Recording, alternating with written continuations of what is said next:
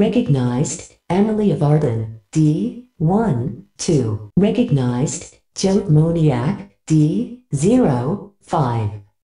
Hello, team, and welcome to Intel Update 20. My name is Emily, and I am here with producer Neil. Hello. And we're going to be talking about the new Young Justice Phantoms trailer that just got released last week, as well as doing a little retrospective on the season so far and what we think might be coming in part two of this season. Let us begin. Show me the one true king. Everyone has a breaking point. So, we got a new trailer last week, and it's 30 seconds of chaos, and we've all been screaming about it in various directions. And basically, my reaction when I first saw it still remains my general reaction to it, which is just new characters, rapid cuts. I have no idea what's going on, but I'm excited. Yeah, and I think my exact quote, like in our text thread, was There's so much there. There's nothing here. I don't know. I don't know what to do.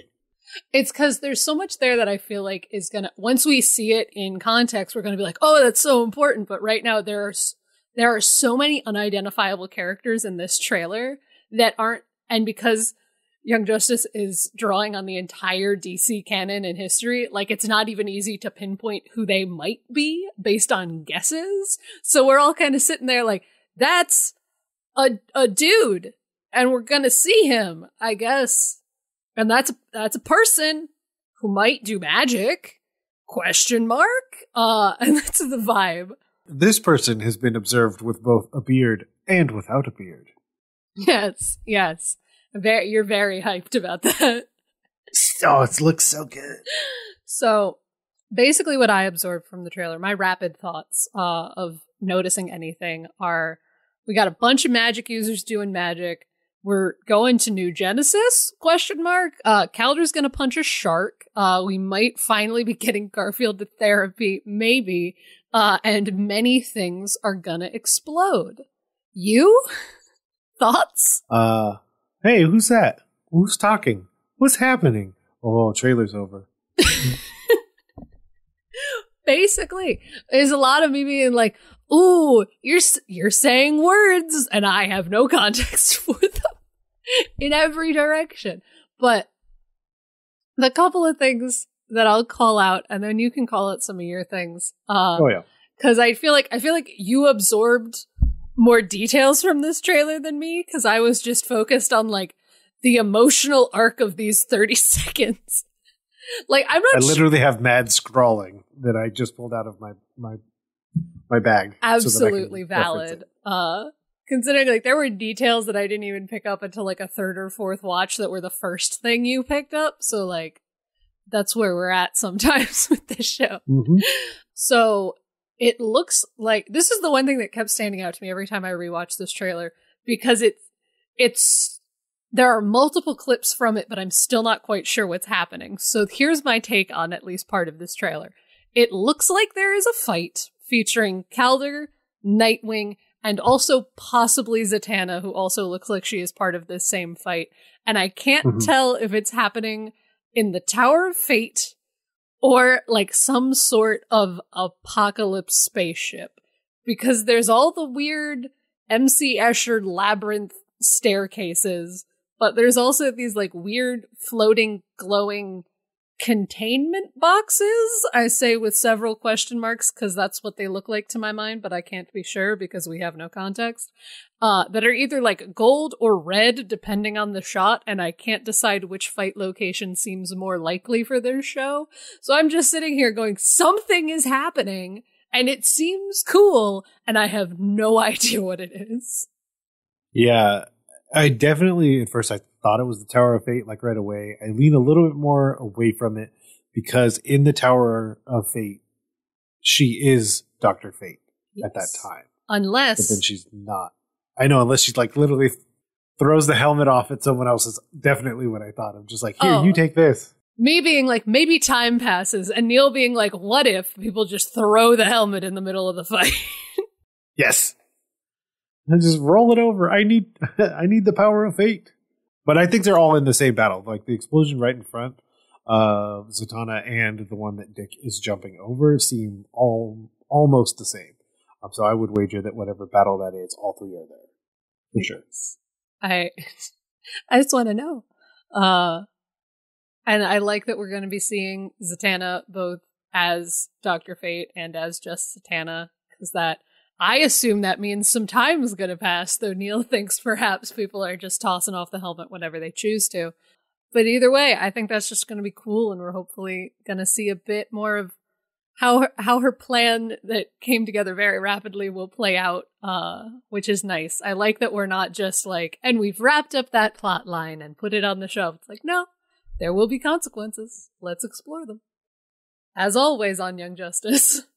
Oh yeah, and then the final piece is her in like the fate space where she's clearly interacting with Doctor Fate as well. Which Yes. I know you're excited for for for exactly what that could imply. Yes. Like I'm sh- I'm sure a lot of it will be various serious conversations about uh the choices that affect humanity and whether or not things are the right thing to do in any given moment and Zatanna and Fate arguing over decisions of cosmic importance. But also I want this magical girl to be sassing a millennia year old spirit of order in the universe because you know what? She deserves it.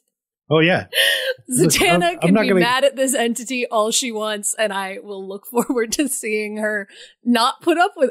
It's literally like my emotional read of this relationship. I have no idea if I'll be right, but my emotional read is just Z- at one week a month. Zatanna is just like, "Hello, I'm your problem now." Uh, Look, here's the deal. I'm gonna be frustrated about the fact that over the span of a decade, you set up a rule where I saw my father a grand total of ten hours.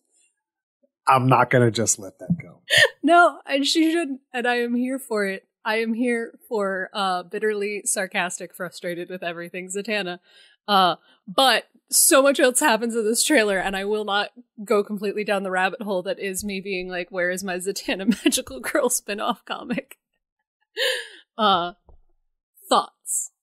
So, but if we want to stay in the Tower of Fate, I I went back and forth to really figure out who the eleven people were that were around the bell because the shots end up being very different from the angles that they're viewed at. What I realized is that Zatanna is Doctor Fate, and then everyone's holding hands. First off, that was super funny to watch. All these like really intense characters gra- calmly grab each other's hands. That's how Um, magic Madame works, Xanadu. Neil. You gotta hold I know. hands. Yes. Uh, Zatara, and then the part that took a bit to figure out is that Zatara is next to Blue Devil. So then we go around Blue Devil, Phantom Stranger, Jason Blood, Khalid, Traci 13, and then the three that are in the front, who I think Garth is in the middle, Isis, and someone. Those are my guesses. We'll find out.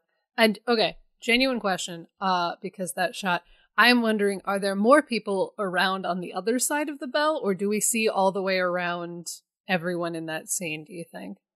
Because it would be very funny. So- okay, okay. Because my brain is like just knowing the way that Young Justice aggressively avoids spoilers and trailers of just what's how do we hide like four characters who haven't been introduced yet kind of vibe. This so this was my assumption, very much so. So then I figured because I figured out how many sets of legs were hanging were below the bell on the backside, and then I figured it out like who was holding which hand.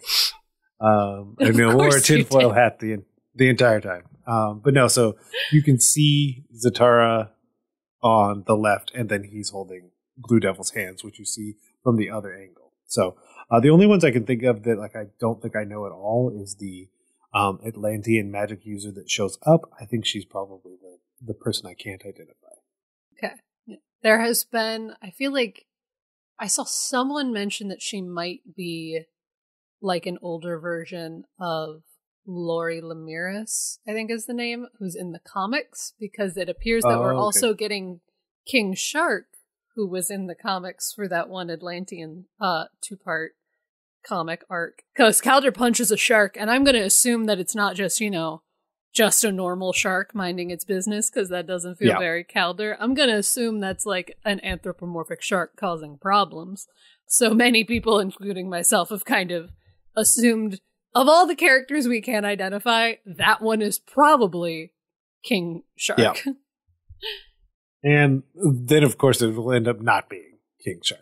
It's the other anthropomorphic shark from DC Comics that we all forgot about, who's in one issue of one Aquaman uh, comic Mm. from 40 years ago that everybody forgets about, and he's here just because we use every character. Yep. Oh. Where to jump to next? I mean, I mean, we jump into these like these random lines from random people, and you brought it up. I mean, it's the it's the Zehra law. That I mean, how many in season three? How many characters did Zehra um, end up voicing? Because like, So there's- it's difficult. Some one of the lines is clearly Nolan North, but Nolan North voices so many people on this show that I'm like, can't make any assumptions there. Yeah, because you have show me the one true king. Everyone has a breaking point, and he's the spawn. Darkseid. For my is the everyone has a breaking point line. Does it sound like it's said by M'gann? Because I think it does, and I'm just Yeah, and, and and it's in reference like when you're doing the shot with with Gar at the window. yeah. So it's like that is the the only line that I feel like I have some idea of when it's probably being said is the everyone has a breaking point line. Sounds like it's probably M'gann and probably talking to Beast Boy in that conversation of can we can we can an adult find Beast Boy and get him some help, please? But everything else I'm like, I don't know what's going on. Even even the ones that are like there's some line that's like the people are in open revolt or something and it's Yeah, right before a clip of rebellion. Atlantis. Uh, it's open rebellion, and it's right before a clip of Atlantis, which would make you think it was that. But I don't know. There's so many governments in this show. It could. It's only dawning on me now at this moment as I say it. But like, it could be like Markovia and everything that's happening there, or something with Queen Perdita, since we've brought her back into everything, or any. We don't know. There's so many kingdoms on this show. Also, show me the one true king. Who? What? Also, who is a child of Darkseid? I have questions. Is that something I've never heard of before? Probably. There's a lot of DC Comics history I haven't heard of before because it's been going on for so long. But also, just every single line in this trailer makes me go, huh? every scene, every line, I go, huh? Um, yeah, because you also have like, oh hey, uh, you know, just McCom hanging out with the giant parademon, talking to this person I've never seen. Yep. Just, just McCom being back, doing his thing. Gonna cause more problems on purpose. Yeah, where does that? Es- yeah, and then I think, oh, good, you're back. Uh, what is your es- escalation after not having been very successful with the previous one? I'm sure it'll all go super smoothly. I'm sure there won't be any problems. Also, just just just to throw it out there, one of the sons of Darkseid is Orion. Oh. So, Neil using his Google powers in the middle of recording. Uh, mhm. there we go. Things I didn't know. Things we'll find out, presumably. I don't, and it could be something completely different. We never know on this show. yeah, I Um, mean, it's not to say that there certainly aren't others, and then also like there's certainly other ways that that line could be interpreted to then imply countless others. Yeah. Because it's, you know, it's just vague enough to make us excited, but very confused. So what else? What else you got that you're excited for from this trailer? Uh, other than Kaldur has a beard now. God, so good. Well, also then just seeing online the debate of like, well, how long could it possibly have been? If we, how long does it take an Atlantean to grow a beard? I'm like, we don't know. Please stop. Like, I can't figure that out. But yeah, I don't know how long it's been. How long does it take to grow a beard? Things I wouldn't know. Neil, you would know this better than I do. How long does it take an Atlantean to grow a beard? I Who don't know. knows? Like, what is? Does it take longer because their skin is thicker? Like, what's what's the rules It's here? also it's not a very long beard. It could have. I don't know. I mean, if there's anything I'm going to ask Greg for, it's this. What? what specifically? How long does it take an Atlantean to grow a beard? Correct. Correct. That's your question. Yes. You get one, and that's what you go with Yep. I'm going to submit it anonymously, but we all know now. To, to the Ask Greg site. Go for it. Live your dream. Very Follow your heart. question.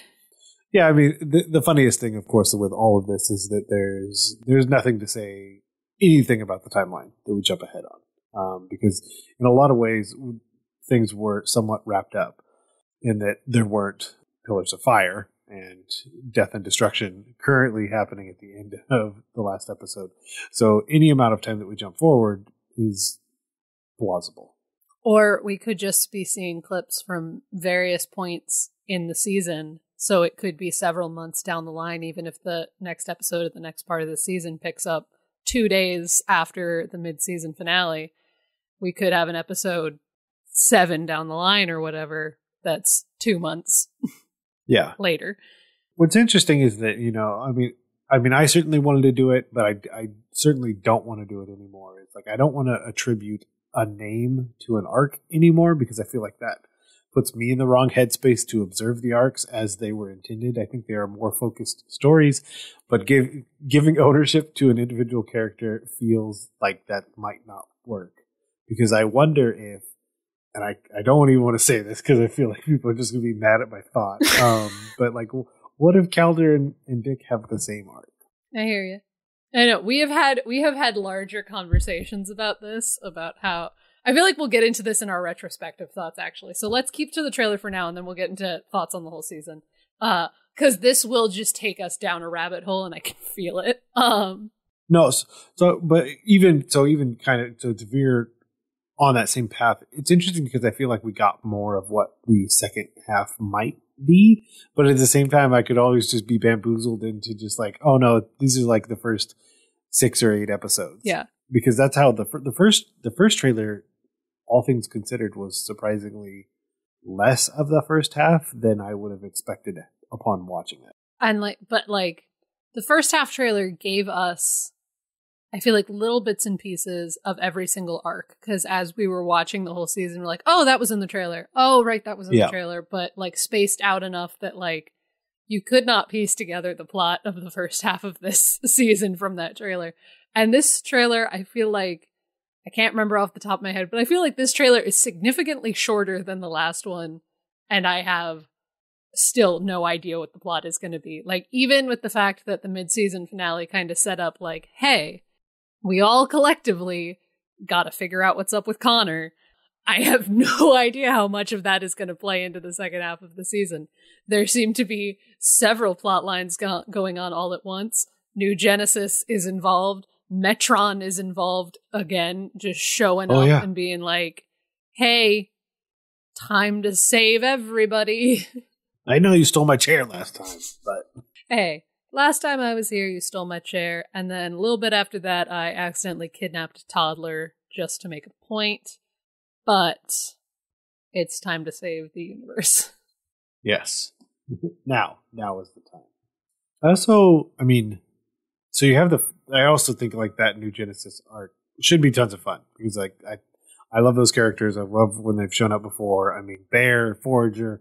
I mean, that shot was pretty exciting. But I wonder how much time, of course, will be on there, um, and also like who is Orion fighting? yeah. I know. we've had is it Bubble Boy? Is it the man in the bubble? whatever his name may be. I know we've had some talk of like, I think maybe it's the only one that immediately jumped to my mind as a possibility, but also we've never seen that guy's face. So, Mhm. and I, we still didn't in this trailer, I don't think. No, we just, cause we see him like they headbutt and also like hand over face and stuff. So, still keeping that identity very secret. But also, we have no idea if it's the same person whose identity is being kept secret from us. Yep. No idea. Just there is a fight happening. So much and so little. Yep. Literally, this whole trailer was like every pausing it at every single second and being like, "That's a new character," and I can't even begin to assume who it is. Yeah. like everything from like there is a brief shot of like Rocket on the phone with someone on like one of those Mhm. see-through superhero science phones that people have Yep. in superhero media. So you can see who's on the phone and I'm like, "Who's that guy?" Honestly, I have no idea. Who's Rocket talking to? I can't Yeah. even I can't even begin to guess. Uh and I feel like that's that's everyone in this trailer. Theories abound. Well, because the who's the person that McComb's talking to, and where? is it on Apokolips? I mean, you, you've got some, some very apocalyptic feel to the clothing and the, the overall look of the person. You know, big scar, shaved head. Because in the apocalypse, you don't want your hair catching on. Think about it. There you go. That's the theory. Okay. There's your, there's your PSA for today.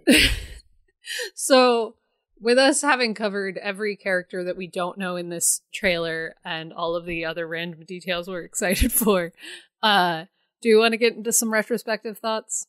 yes, I do. So, first overall vibe of the season, how we feeling? I personally feel like I think the season is pretty good. Like I have talked about how there are some things from this season that I don't love, but those are more wrapped up in like not necessarily loving like a quote unquote darker tone on superheroes and like some of my personal preferences about the level of violence and gore.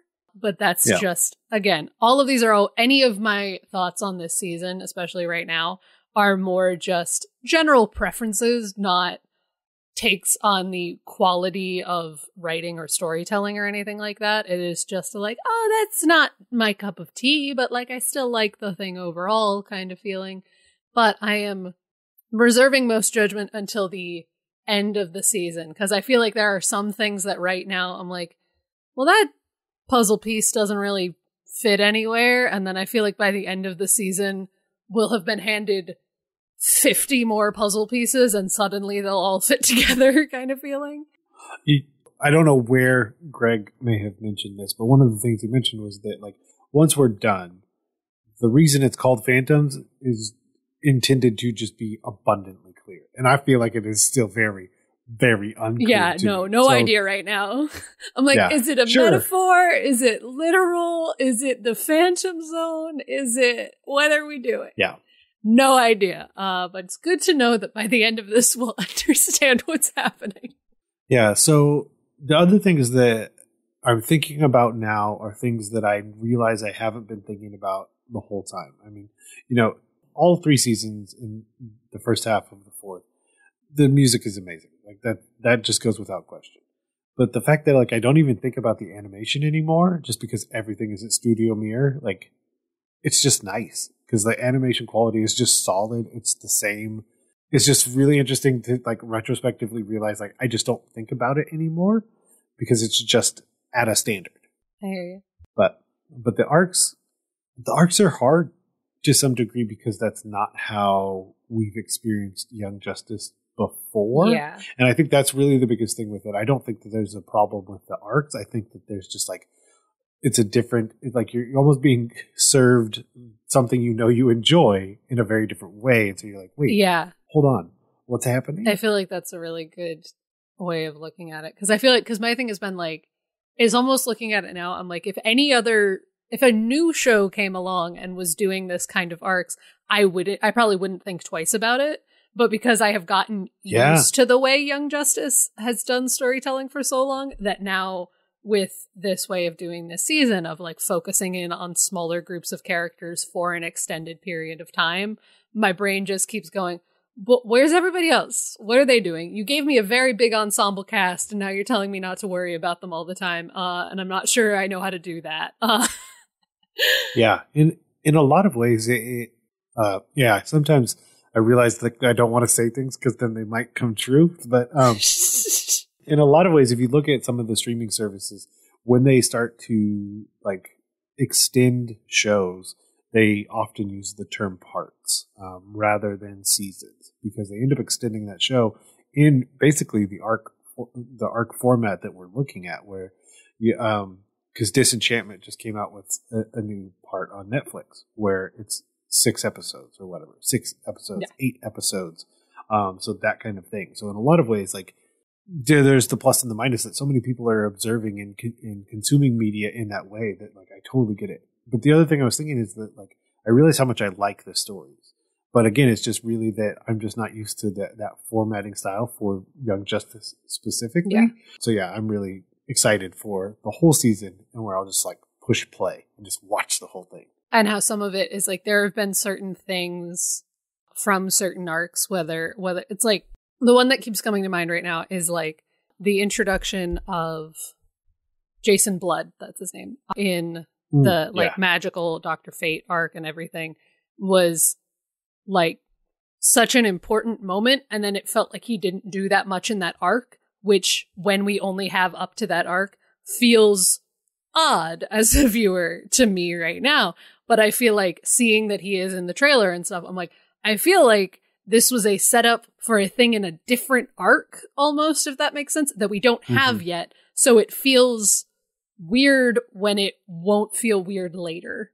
Yeah, because you still have those hints and those pieces. Because then Etrigan, like you know, where all the random demons are coming from that I still don't understand.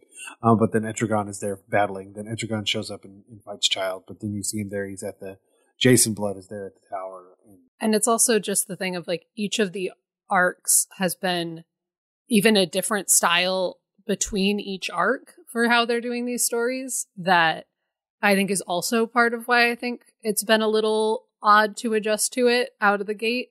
Cause like the first arc on Mars was so self contained and so focused on our main characters and their relationships with each other and all of that stuff with the background of world building that was tied into those characters so it didn't all like it didn't feel separate. It didn't feel like we were getting like a small story and then also world building and lore. It felt like here is lore connected to these characters and it's all woven together and this whole thing that was super self-contained because those first four episodes there are no like extended flashbacks. There are no cuts away to earth. There's none of that other than the one cutaway that's to the watchtower because martian manhunter Oh, has arrived yeah. and that's just part of like the rest of it is all focused on all of them and then to even shift from that to like the next arc with artemis and cheshire and everything and how even that one it's like okay we're gonna have an episode that is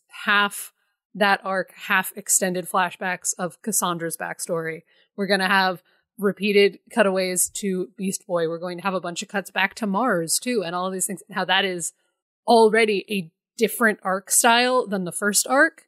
That I feel like it's the weird thing of like that first arc is really strong, and it's might so far be kind of my favorite arc of the season, not just for Super Martian reasons, but for other ones. And it like kind of set an expectation that then the other arcs are doing different things and being different styles of storytelling that aren't bad they're just different and i feel like we as viewers keep having to catch up a little bit of just being like wait i finally got used to the other one oh no well, and I, it, like I think it makes it makes sense from like a narrative perspective Yeah. that we would start so small and obviously need to continue to expand that out. But it did set an interesting tone because you know so unused to the process of, of the arcs that you had this tone of like, all right, we're laser focused on this story, but then it, but in so many ways, like there's no way we could have stayed laser focused on the next story because in a lot of ways that would diminish what we learned in the previous story Yeah. if we're not referencing it in any way. Now that said, I love the focus. I, I mean, as many people did the second it was announced that there would be more of a focus on the original team. Um, and I am of those people. And then those people, of course, have specific people that they're very uh, big fans of. And then, like, that's the trade off is like if you're focusing so heavily, then you do need to put other people to the side to give them the spotlight that you're intending to. Um, hence, Kaldur not yet having any lines. poor kaldur he tries so hard um but and i've also been thinking with the arc structure of like a lot of shows that have kind of embraced the idea of arcs i looking back at a lot of other shows because this does happen often especially genre media shows have like a first half of a season arc and a second half of a season arc Mm-hmm. but the thing I find interesting is looking at most of those, those arcs are generally defined by who the villain is for an extended period of time. Cause Mm. You'll have your, all of your main hero characters who are all there. And then there is a villain who is new for this part of the season. And then we'll deal with something else later on or whatever it might be. And so it's interesting how, uh, Young Justice is doing the thing of like, the arcs are far more defined by like who's even here? Who from our cast of main characters is even going to be featured in this arc? Because they're not all going to be here Yeah. all the time, even though we want them to be. Uh, even though I just finished a season one rewatch recently and was like, I miss when everybody got to be friends. Yeah. like that's part of what I'm really hoping for in the second half of this season, and I feel like is not a is not a far fetched hope to reach for of like getting to see all these characters back together again. Because it's my favorite thing. It's one of my favorite things Yeah. when we get to see the whole original team together. Uh, and with some of the setups from the end of the first half of like, hey, everybody, Ghost Conner in space. I feel like that's a thing in which we call everyone. and I am keeping all of my fingers crossed in hopes. I wonder. Well, I mean, this would you know random speculation. We're in that zone. Um, I wonder if that's the spell What do you mean? That's the spell. what? to like go to go to where you like because remember it's Zatanna the, is the one that found Yes. the you know the like echoes on the bus. I don't know The what- the echoes on the bus go round and round.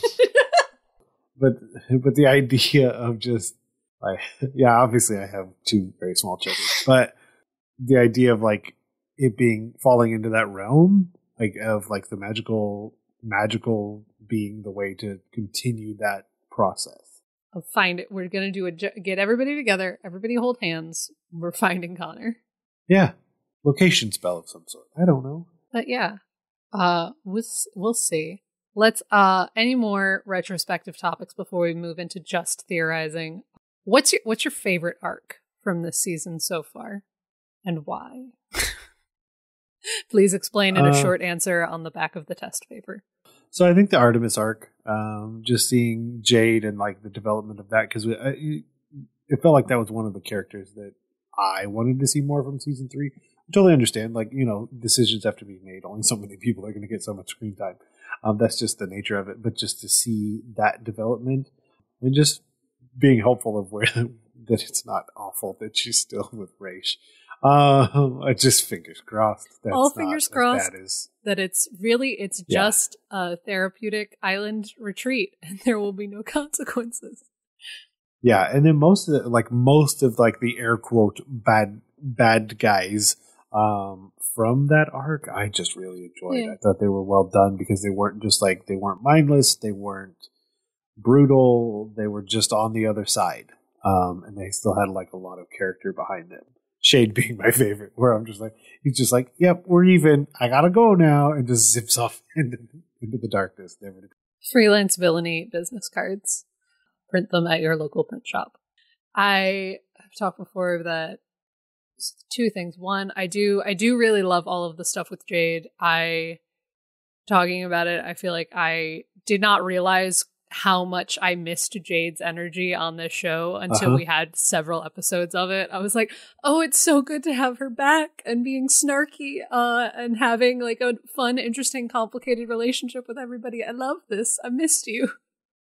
And it's all it's that thing of when a char- when she was one of those characters that was in season 3 but was in season 3 so briefly that like I was like, "Well, she's she's there, but okay. And kind of forgot how much I missed all of the wonderfulness that is Cheshire on this show because she's a great, fun character. Yeah. More of more of Cheshire. Add it to the list of spin-off tie-in comics that I desperately want is the the shenanigans of Cheshire if and when she moves back into the the it's the when Harper Crock household and I want the like sitcom tie-in comic. Everybody living in that house. Yep. But for me, I think my favorite arc is that first one, and not just for Super Martian reasons, because I know I am aggressively me at all times. But aside from it just being yay wedding uh, at all times, it was also, it felt very much like a throwback to kind of the tone and style of season one that I had of even just season one and season two that I'd kind of missed in season three, which was looking back on it, it's like the the first two episodes of season four are, I believe, the only ones that are rated TV PG on uh, HBO Max instead of T, uh, PG thirteen.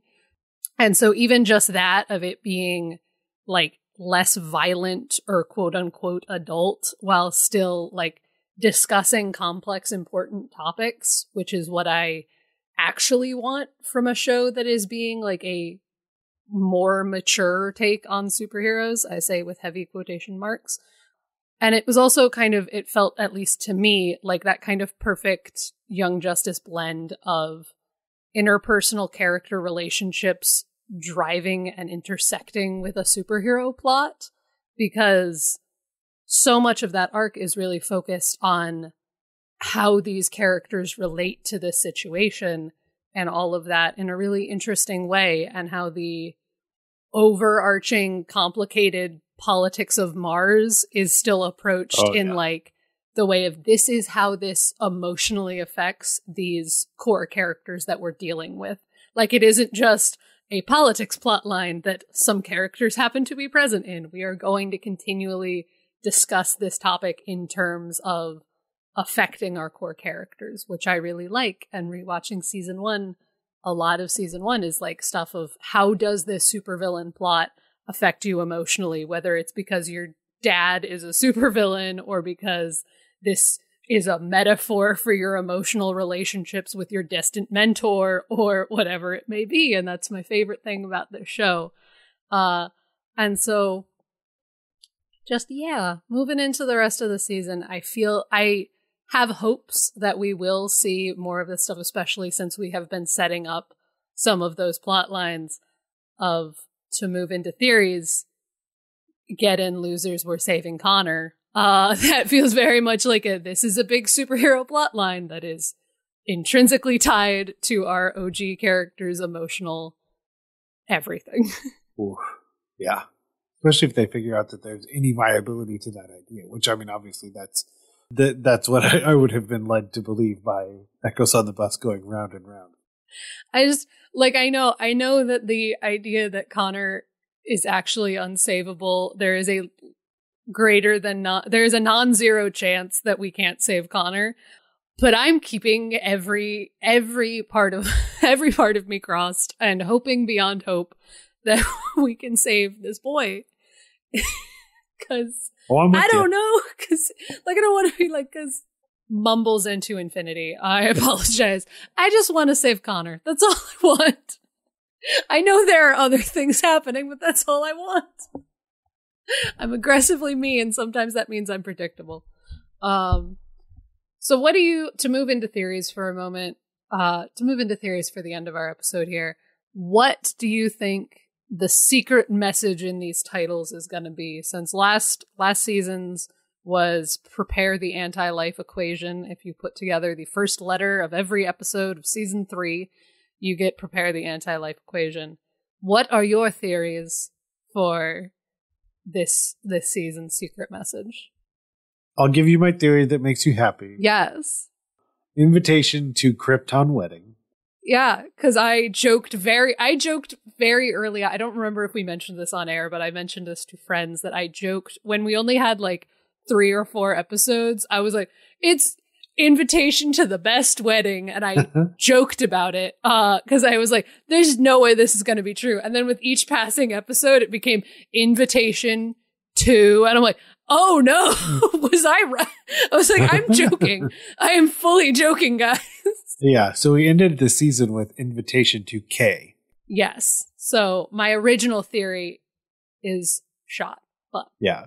So it leaves us with 13 characters. Safe to assume 13 letters. the no, the last the last four are just punctuation somehow. Yeah, well, it could be a number. I don't know. We just start like episodes have completely normal titles, but they start with a comma now. Yeah. oh, wow. Comma, normal episode title. We're doing a bit. Yeah, so I also wonder if the the K stands for kill. Um, is often what like what I think of, depending on if either Vandal or Darkseid is bent on doing something different. We shall see. No no murder. No more murder. Well, I also feel like this is the other thing I thought of. Is like, do we how far do we jump ahead? Because we jumped ahead a year in the old in the old bus extravaganza um, to see Big Barda a year later. Right. I keep forgetting about Yeah, I, I I just really dawned on me right the second again. It's like, oh yeah, we jumped ahead a year, but that doesn't mean anything other than that's what happened in that moment. Do it, does that happen again this season? Could that be next season? Who knows? They've been they've been planning this bus thing since season one. So who Yeah. knows? There could be hints for seasons in the future in that whole montage. we don't know. Uh, but we'll see. We can only hope that it's an invitation to a nice, fun thing.